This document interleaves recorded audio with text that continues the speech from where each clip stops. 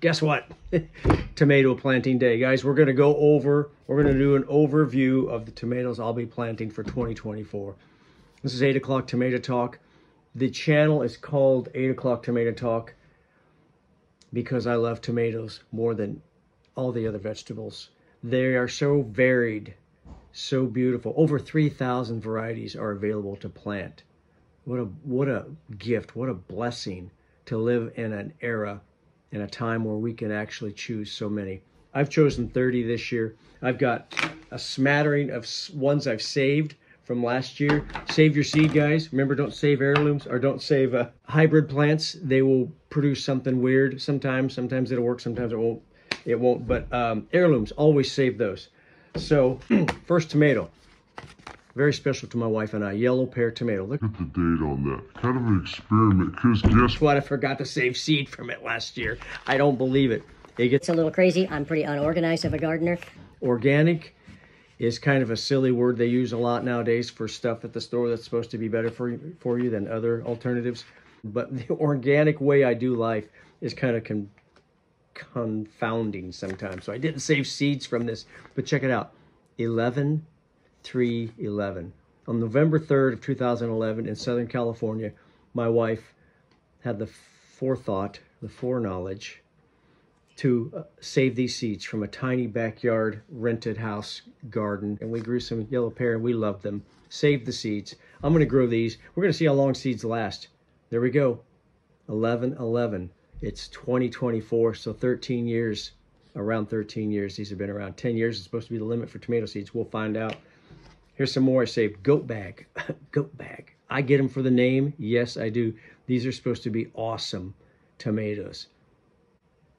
You'll see goat bag up there. They vary in shape. So this is, I say curved shape on this one. Well, here's another goat bag. Looks like Italian heirloom, more like just a round one. That I've saved two different, I have two different bottles of seeds because I'm not sure how it's going to turn out, but I'm just experimenting myself, seeing if I can kind of refine it even further Maybe the curved shaped ones I saved, shaved, maybe the ones I've saved from the curved shaped fruit will produce a curved shaped one. Small company called Renaissance Farms. The guy's name is Curtis. He grows some amazing tomatoes, and I got the goat bag from him. I just couldn't resist. We're going to find out how these turn out shape-wise. I'm going to plant both and document both. Dwarf Johnson, the Dwarf Seed Project. Craig LeHoullier. Craig, I've heard Epic Gardening, Kevin and Epic Gardening call him the godfather of tomato growing, and he truly is. Awesome guy. I've been following him. I've got his book, Epic Tomatoes. Dwarf tomato.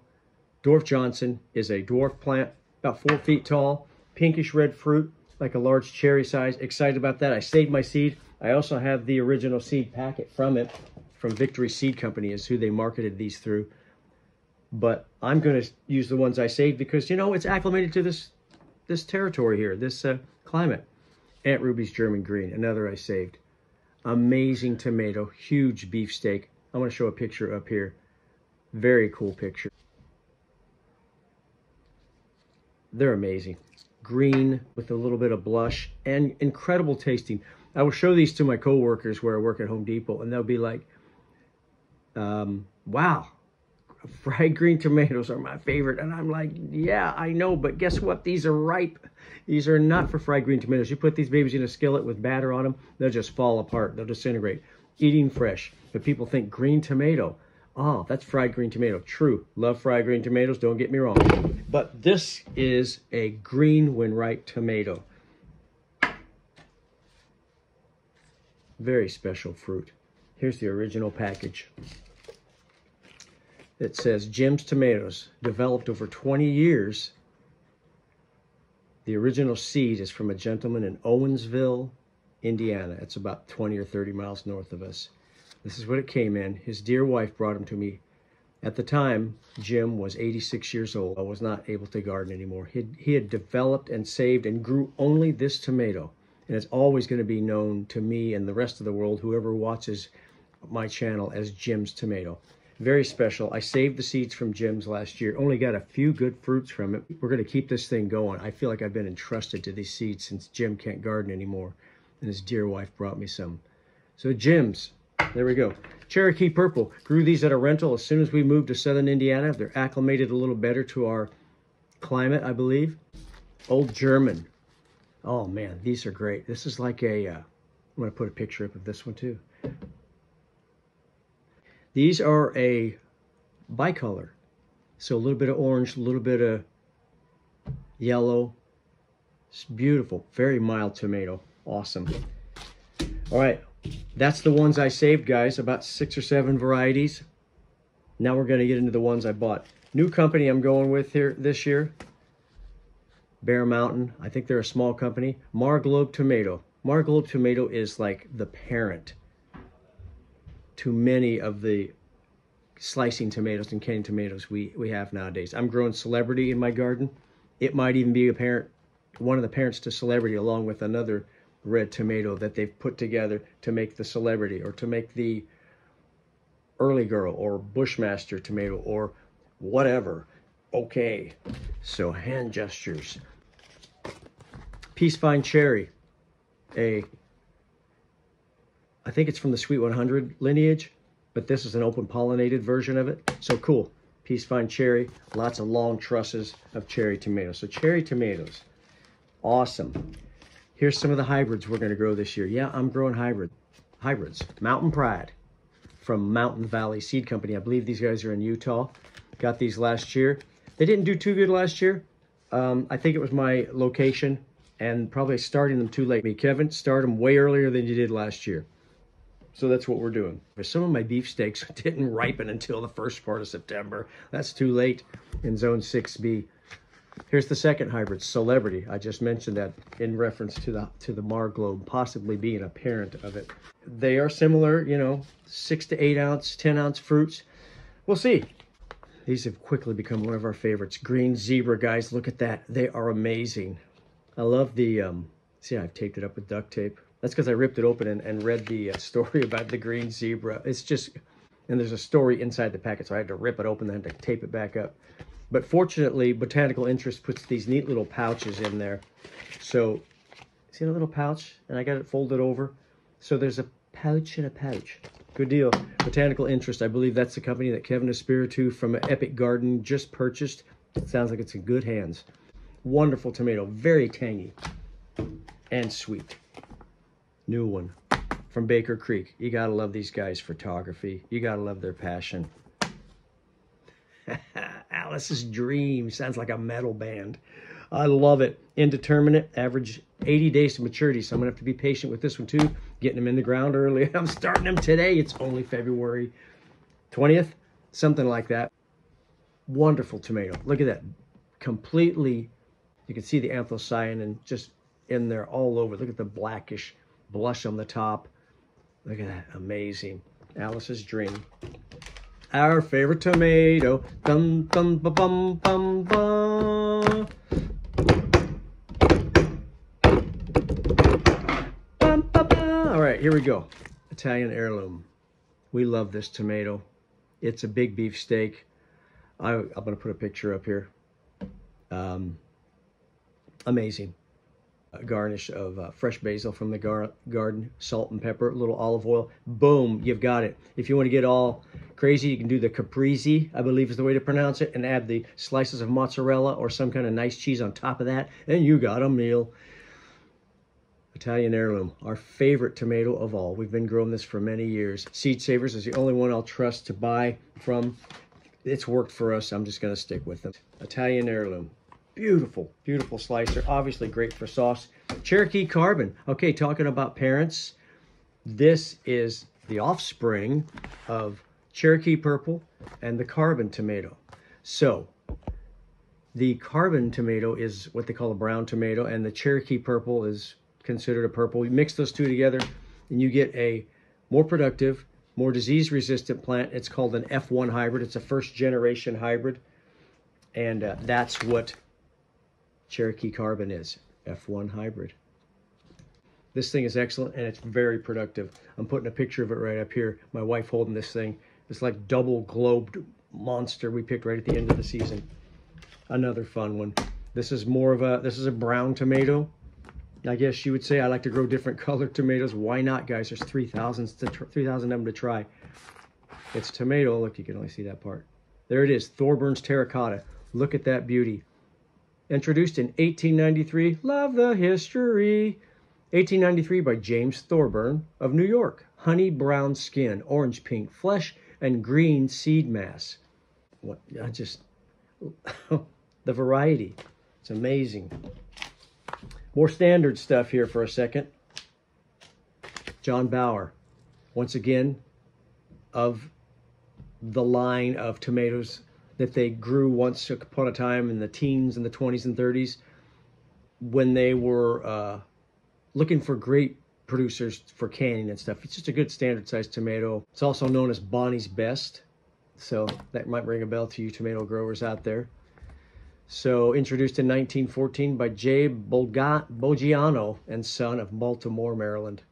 Bright red, heavy producer, great. There it is. Pretty standard red tomato. Odd for my collection. Back to the cool ones. Paul Robeson, named after an opera singer who was a great equal rights advocate advocate back in the uh, earlier parts of last century, 1940s, 50s, 60s. Anyway, dusky brick red fruits, so definitely not a red one, but look at that thing. It's like a tomato lover's tomato.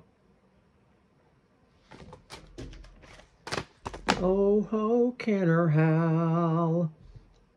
Classic big red beefsteak. This thing, four to five inches in diameter, one and a half pounds. We grew some big ones last year.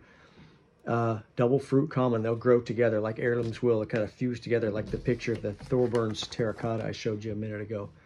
Good flavor.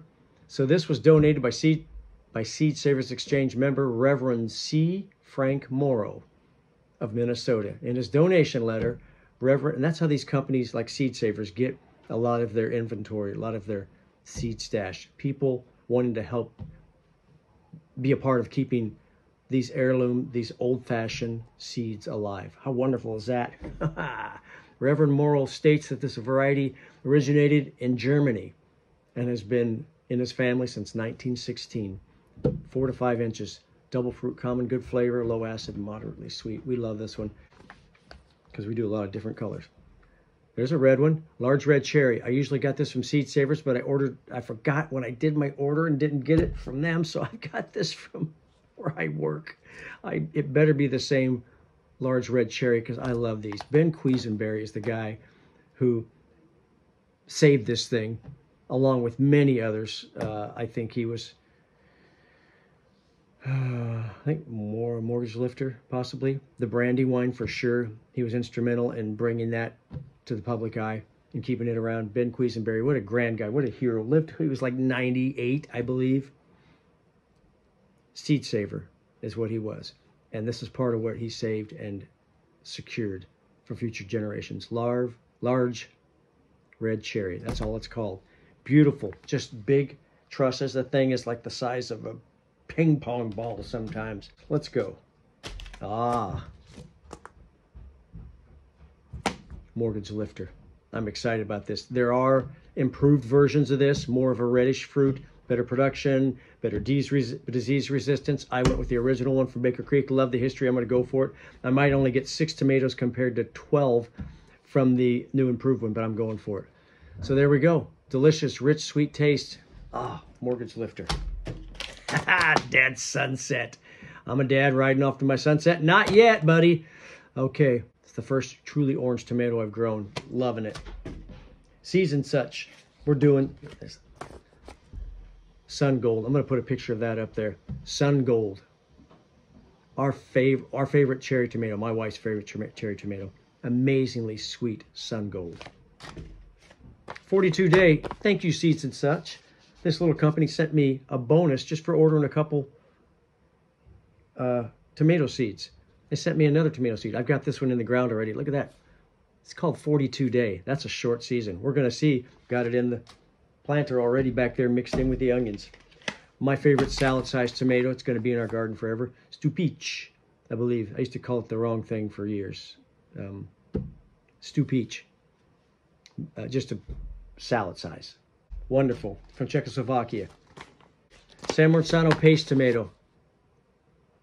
We're going to go for it. Didn't do great last year. Did really good the first year. Going to do it again. High Mowing Seeds, another company we order from a lot. Seed Savers. I've had these since uh, 2018, I think they'll be good. Blondkopfchen, which means little blonde girl in German, I believe. Mild tomato, along the taste taste wise family of like the yellow pear, kind of mild, but wonderful. Very productive. Little guys. And last, no, we got some more. Peach Blow Sutton. I think one of our kids colored on that. It didn't originally look like that. Sorry, seed savers. From England, Peach Blow. Looks like blown glass. Hasn't done great. I'm still going to try it. I've never got a decent crop out of these. We're going for it again. So, a couple bonuses. These are from uh, the company that sent me the goat bag seeds. They sent these freebies. Yellowstone. It's like two seeds in there. I'm going to grow it. Don't even know what it is. Moonstone. I think I've got a picture of this one I can put up there. Cool tomato. Anthocyanin, black on the top a little bit. Green when ripe. And last but not least, raspberry vagrant. Vicrant. Only one seed left. I'm going to stick it in the ground. Can't even remember what it was from that company in Bloomington. Thanks for watching, guys. Appreciate you uh, tuning in to 8 o'clock Tomato Talk. It's tomato season.